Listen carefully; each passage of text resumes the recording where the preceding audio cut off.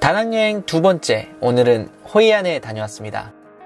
계획을 잡고 가는 여행이 아닌 즉흥적으로 다닌 여행이어서 더욱 여유로운 시간이었습니다. 처음 가본 호이안은 다낭과는 180도 다른 느낌의 도시였습니다.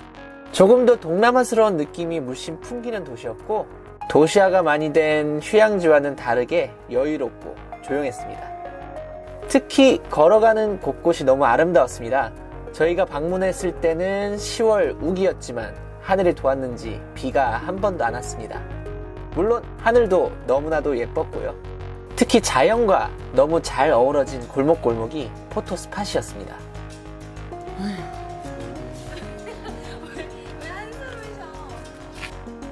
동생 사진 찍는데 방해하는 현실 오빠 같죠? 아 왜? 앞에 있는 강은 투봉강 하류입니다. 지금은 우기기 때문에 물살도 세고 물색도 탁했습니다.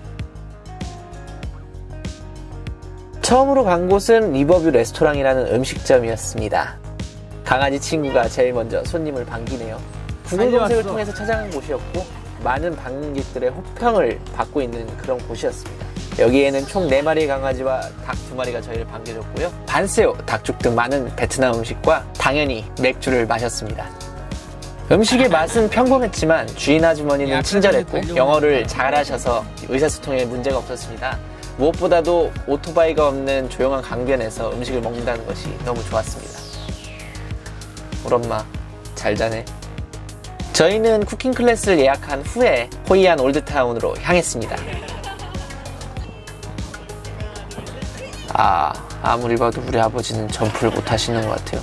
여기가 점프를 못 해.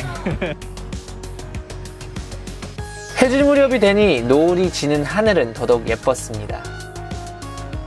수중에 돈이 얼마 없었기에 엄마와 바이바이. 동생만 인력거를 타게 됐습니다.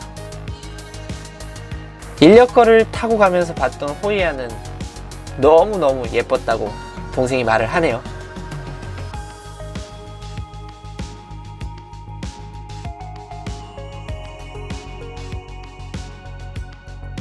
노을이 지고 있는 하늘을 바라보면서 강변을 걸으니까 정말 힐링이 되는 그런 느낌이었습니다.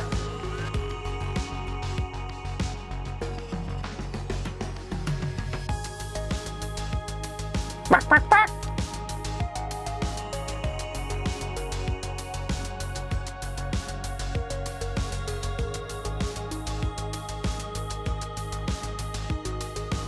쿠킹 클래스는 약 2시간에 걸쳐서 진행됐고 비용은 한 사람당 30불 정도였습니다. 만든 음식과 음료 한 개씩 포함된 가격이었고요. 반세오, 닭고기 4, 베트남식 돼지고기 볶음을 만들었습니다. 그리고 열심히 맛있게 먹었습니다. 외국 요리를 만들어서 먹는다는 것이 저희에겐 신선한 재미를 안겨줬던 것 같습니다. 밤거리를 거닐다가 소원배를 홍보하는 누님과 마주쳤습니다.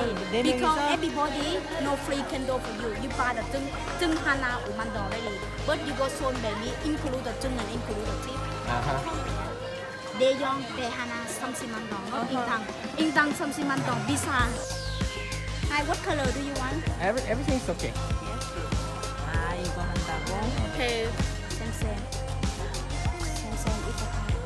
포토는 예쁘다. 언니 예쁘다. 4명에 30만 동, TV 없는 것을 확인하고 가라는 곳으로 향해 갔습니다. 한 명 한 명씩. 다 타고서 알게 된 사실이지만 강 근처를 걸으니까 20만 동으로도 4명이 탈 수 있더라고요.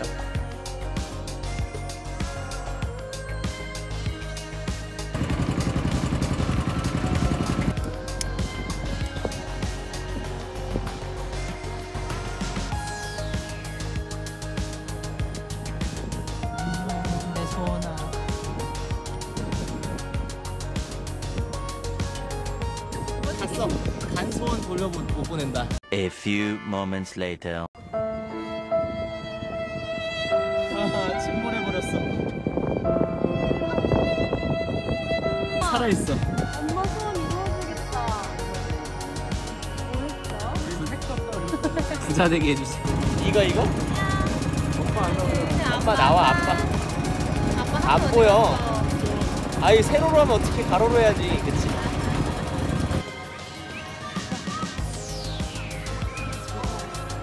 먼저.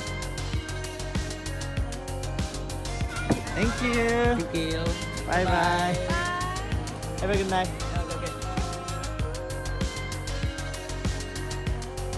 난민이에요. 돈이 없어요. 돈도 없고 덥고 귀걸이도 못 사. 우리에게 남은 건 천동밖에 없다. 천동으로 살수 있는 게 뭐가 있을까? 아. 시청해주셔서 감사합니다.